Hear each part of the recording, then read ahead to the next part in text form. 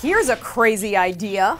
We could make a complete stranger a millionaire. I'm Mara Montalbano for Buzz60, and it's crowdfunding at its most basic. Someone somewhere wants you to give him or her money just because. You don't know who I am. Where I'm from? Or how I'm going to spend your money. But please give anyway? That's a tough sell. Actually, the site has collected close to $12,000 so far.